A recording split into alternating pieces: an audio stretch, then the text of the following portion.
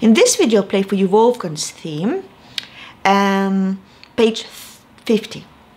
Locate your first finger on the C, and your right will go all the way up to the fourth finger, to the note called F.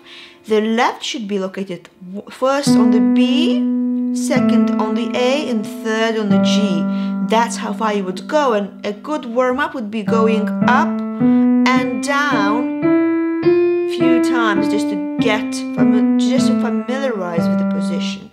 Okay? Let's hear the speed and join me after four beat count in i'll play the song two times. Two three four. One two three four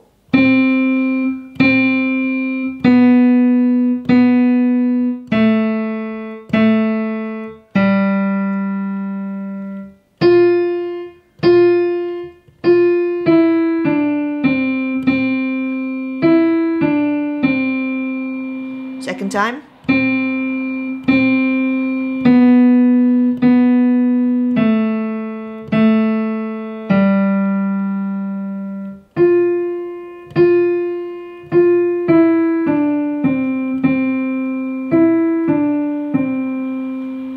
Okay, now play the teacher's duet. and maintain your, your your hands, sort of keep them on the same positions, and I'll just again give you a count in. One, two, three, four. One, two, three, let's go.